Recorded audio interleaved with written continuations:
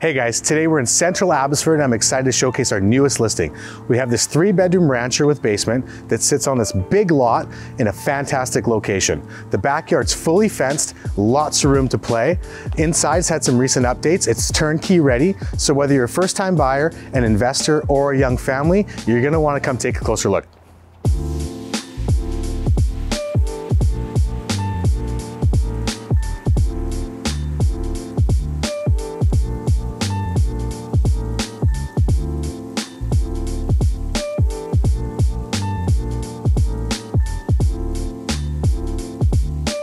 You have shopping and dining options within walking distance.